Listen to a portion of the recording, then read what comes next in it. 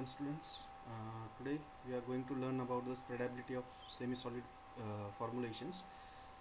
In that first introduction, the efficiency of topical therapy depends on totally patient uh, spreading the drug formulation over the layers of administered and standalone dose. The spreadability is therefore an important uh, characteristic of this formulation and it is responsible for correct dosage transfer to the target site. The efficiency of target topical therapy depends on the patient spreading the formulation in even layer to deliver a standard dose.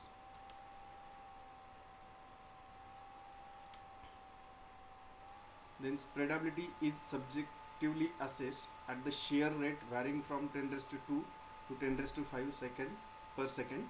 The rate of shear during spreading that is measured in a per second is calculated using following equation for the plane laminar flow between two parallel plates. Means we need uh, require two parallel plates for the determination of spreadability and which will be calculated by using this equation. That is y is equal to v divided by in that v stand for the relative velocity of the plates that is measured in centimeter per second and d is the distance between them the distance between the plate in the centimeter that is even measure of thickness of a film between the skin surface.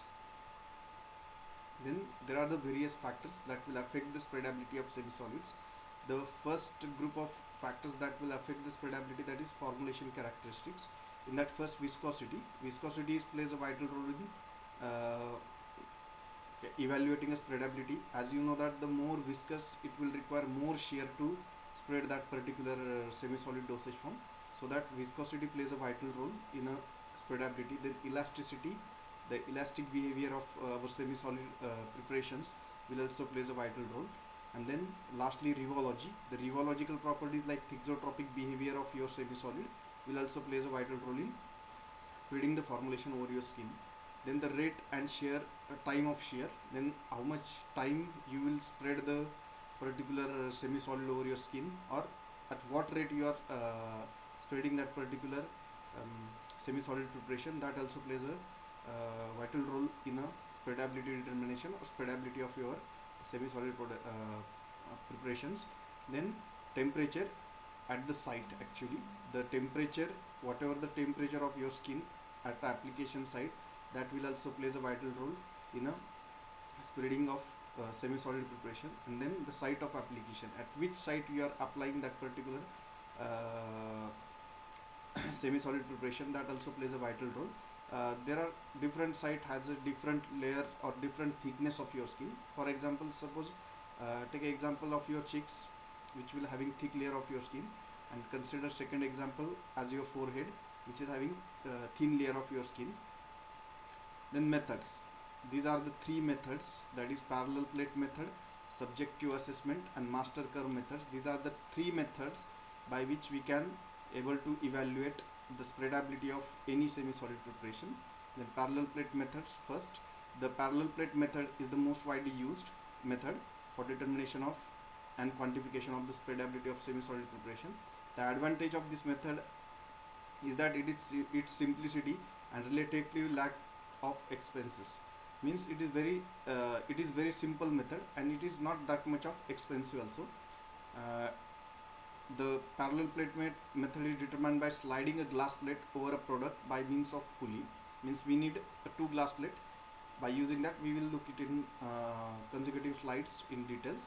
Then product is placed 1 gram on another glass plate and fixed on the wooden block. And the weights are added to the pan so that the sliding of the movable glass plate is obtained. Now we will um, actually look it in a uh, figure uh, these are the two plates. This is the first plate and this is the second plate. The upper plate is glass plate which is movable one uh, which is attached to this pulley and this pan. This pan carries the weights. We are going increasing the weights. Then second this is the glass plate which is fixed one. This glass plate is a fixed one. Then over the wooden box we are placing it over the wooden blocks and we are going adding the weights in this pan and we are continue and we are measuring how how much weight is required to pull that particular uh, movable glass plate from the, the and in between them there is an ointment we can say or we can say we can put our uh, semi-solid preparations.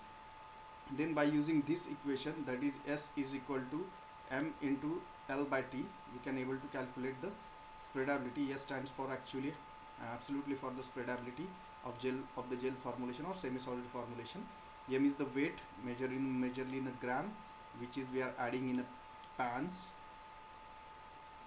Then uh, l is the length uh, measured in a centimeter of the glass plates. We are measuring the length of uh, centimeter in the glass plate particularly upper plate.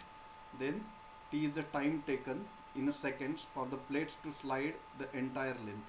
Means whatever the length it will require to slide okay that entire length we are measuring in a uh, or that entire time we will measure in a seconds by using this. And by using this particular uh, formula we can able to calculate spreadability of that particular uh, semi-solid preparation then sub, uh, second method is subjective assessment. As the name suggests subjective assessment is based on the sensory assessment of human volunteers. Previous uh, method here we can uh, don't use any human volunteers. We are simply using glass plates but in subjective assessment will require human volunteers. This mode of measurement is closer uh, to the true spreadability assessment because we are using human volu volunteers. That's why it is it will give you true spreadability assessment because as the results are generated from the individual field of the formulation then Langenbucher and Large Lange described spreadability as a measure of viscosity correlated to the subjective performance. Means they have said that the spreadability is a measure of viscosity correlated to subjective pref uh, preferences. Means it is depend on uh, spreadability is depend on viscosity and the feel of subjects. Uh, whatever the subjects or human volunteers we are using how they feel while spreading that particular semi-solid preparation the formulation could be spread on the back of the hands. In that particular case the formulation we are generally spreading on the back of the hand the scores obtained were plotted against the viscosity of the samples then each uh, human volunteers will give a score and they are plotted against the viscosity of that particular sample. De Martine and Cussler stated that subjective spreadability and viscosity perceived as the shear stress on the fingers means it is totally depend on the shear stress whatever the shear stress we are applying by our fingers whereas the subjective stickiness of a formulation is perceived as the time frame during which the finger is pulled away from the sticky surface.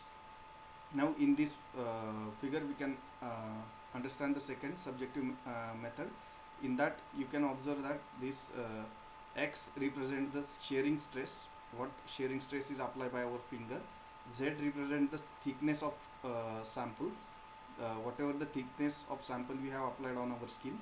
Then v represent the finger velocity by how what velocity we are applying particular semi-solid preparation.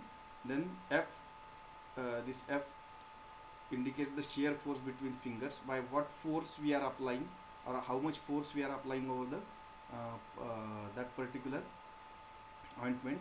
Then R is the radius of our finger. This R is continuously a radius of our finger. And by using this we can able to predict the spreadability depending on the subjects. The uh, last method is the master curve method. The master curve method combines the advantages of both subjective assessment spreadability and the use of instrumental methods. Then the method determine the relationship between the shear stress and the shear rate that operated that is determine the relationship between shear stress and shear rate that operated during spreading of topical preparation on the skin. Then a panel of volunteers we need a panel of volunteers to compare a series of formulation that varied in consistency from uh, mobile liquids to stiff semi-solid with a range of Newtonian silicone oils varies in a viscosity. Means we need some standard uh, silicone oil uh, viscosities uh, Newtonian silicone oils uh, which can we can consider it as a uh, standard and then we can compare it with our semi-solid preparation. Then the participants spread test material on the inner surface of their forearm forearm. Then the rates of shear varied approximately from 400 uh, to 2500 centimeter uh, per centimeter. And the shear stress varied from 40 to uh, 6000 newton uh, per uh, New- Newton meters. The, panel indicates that indicated which oil is appear to the process same spreading property as each of the test formulation. Means whatever the silicone oils we have used we are comparing our uh, test and standard uh, uh, standard is our silicone oils and test is our ointment or we can say semi solids we can compare both and we are uh, the panel will suggest that particular oil which oil will have same um, spreadability as that of our ointment means we are comparing standard with a uh, test. Then the flow curves of material we are obtained from this we can obtain the flow curves which is like this that O uh, L will be the hydrophilic uh, gel okay. Then E will be showing the acceptable range of viscosity uh, sorry sorry combination of master curve lipophilic L will uh, indicate the lipophilic hydrophilic gels will in, uh, indicating by G and oil in water type of emulsion will indicate at E. These are the three various basic uh, semi-solids will have are in uh, these uh, three formulations. Then uh, the, showing the acceptable range of viscosities for spreading on the skin shear that O is a acceptable range. This is the acceptable range for the lipophilic uh, we can say ointment specifically which are lipophilic then hydrophilic gels this is the acceptable range that is uh, expressed in a log shear stress how much stress uh, uh, stress we are applying and lastly uh, if your formulation is water in type uh, water in oil type of emulsions like creams or something else then they these show the acceptable range in this. Okay. These are the various uh, this is actually a master curve method. Then conclusion that is uh, spreadability is very important property in the development of semi-solid preparation mean for the topical mucosal routes because it is responsible for overall performance of uh, semi-solid formulation.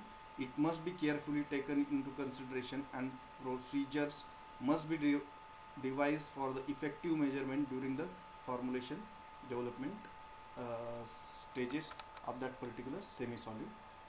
Thank you